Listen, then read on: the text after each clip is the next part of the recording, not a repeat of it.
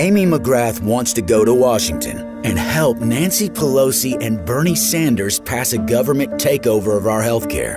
The McGrath plan is socialized health insurance, and it would raise our taxes and take away our health care choices. Here's Kentucky small businesswoman Mickey Murphy. I own and run a construction company in Bowling Green. My employees are like family to me, and I'm proud to provide them with good health insurance.